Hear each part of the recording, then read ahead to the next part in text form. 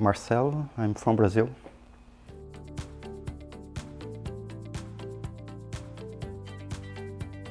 Because I was born in a small city in a rainforest, so I think probably it's linked with this idea of nature, the life flow around. Very soon you start to get this interest in, in nature and science. And this, remember that we have a, a few of this rainforest and they are in danger, so it's important for science to have this forest go on like uh, it's 100 years to grow up a forest like this and just some hours to burn it to ashes.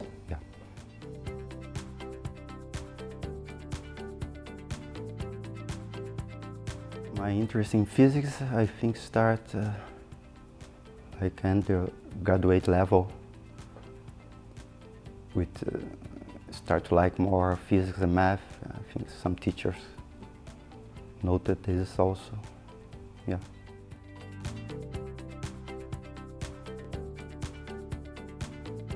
Master degree was in the São Paulo State University and the PhD in Rio de Janeiro State University.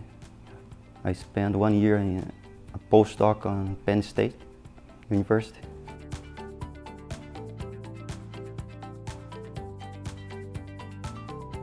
I met Klee and QGR by internet. We start to talk by email and uh, I remember we talked by Skype. Before I go to this postdoc, I come here like one week and we start to discuss. And then we continued to talking. When I was there to come here work after It was 2014 that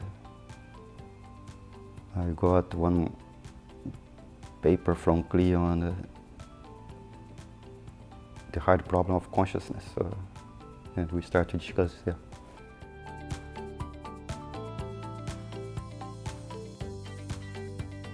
Right now I'm working here. There are some different line, lines of research. Um, mostly I'm on this connecting physics and our quasi-crystal uh, simulations.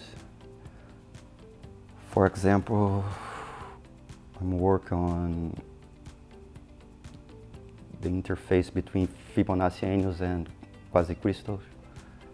We believe that the problem of uh, a large-scale quantum computer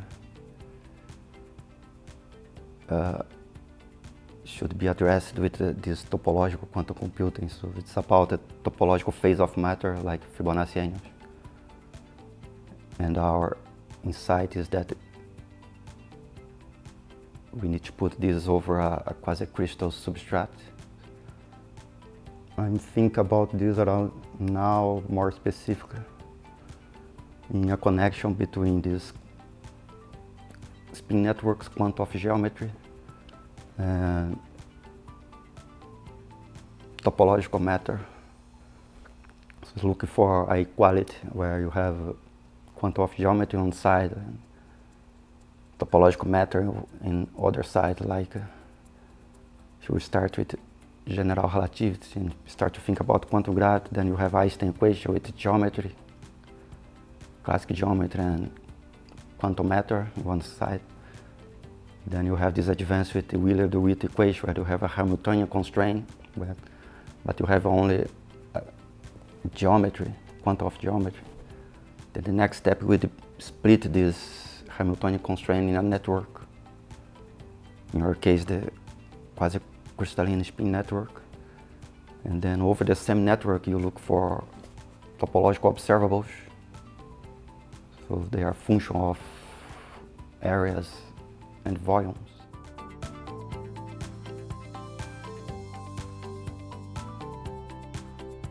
The quantum computer, I think. I think science can unlock this problem of energy. We need a more clean and cheaper uh, source of energy that fundamental science can give us to replace the, this older paradigm. I think I better understand uh, science can unlock this understand of nature as one thing and we are part of this one thing and how we can help and talk more about uh, sharing and corporations and this fight between these different parts in nature, but more about cooperation, sharing, love. yeah.